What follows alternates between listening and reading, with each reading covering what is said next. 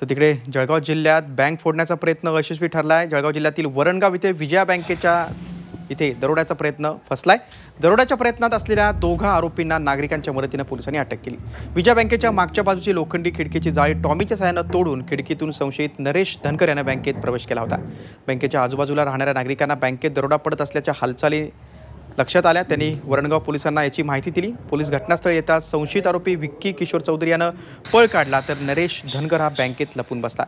पोलिसांनी बँकेचे सहाय्यक व्यवस्थापकांना बोलावून लपून बसलेला नरेश धनकर यास बाहेर काढून ताब्यात घेतलं. श्री चोवीस तास. रहा एक पाऊल पुढे.